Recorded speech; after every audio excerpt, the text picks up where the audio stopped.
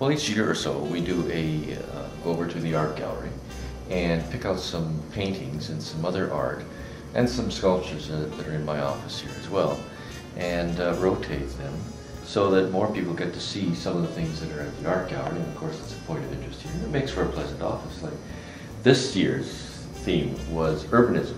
Just outside the, the office there's a, there's a painting uh, by Peter Goetz a downtown scene and uh, this is by a, a native uh, person, a portrait of a young boy and it just gives the, the people concept and its community and of course some older uh, scenes here of uh, yesteryear in some town and the, uh, the, the picture here by um, uh, Allan MacKay who is at the art gallery, curator at the art gallery and that's to add some life into the office. Yeah.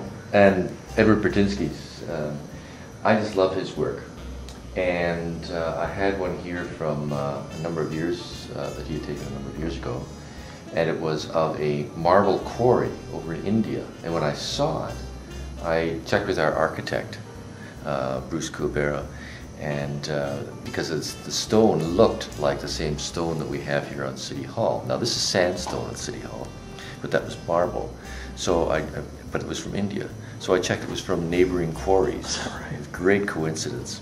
So wow. this is just a bushings from uh, recycled bushings uh, from a Hamilton site that does recycling, and it's the other kind of environmental theme that we're on to right now in terms of uh, what we do with our community.